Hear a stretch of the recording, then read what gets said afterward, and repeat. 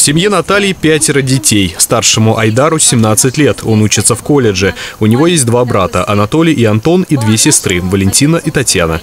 На вопрос, что вдохновило ее создать такую большую семью, женщина смеется. Случай. Даже как-то само собой. Я, мы вообще любим детей. У моего мужа самого в семье 10 человек.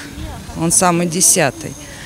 Вот, и вот мы как-то решили. С инициативой собрать подарки для многодетных и малоимущих семей выступили сами местные жители. Поддержку им оказали власти сельского поселения и представители духовенства. Жители э, деревни Емищево, когда они пришли на прием, они сказали, Светлана Николаевна, вот у нас есть такая инициатива, мы хотели бы э, в канун Нового года э, провести вот такое маленькое мероприятие.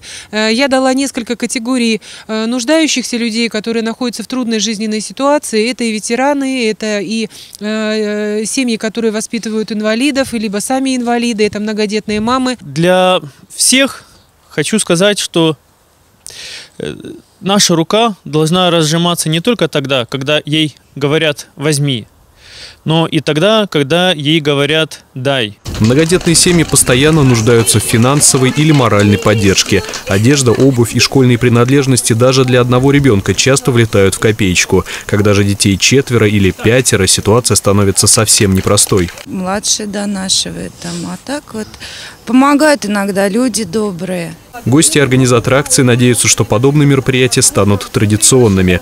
Совсем немного участия, доброты и внимания. И вот для тех, кто действительно в этом нуждается, новогодний праздник становится чуточку лучше. Святослав Савенков, Станислав Трифонов, телекомпания «Одинцова».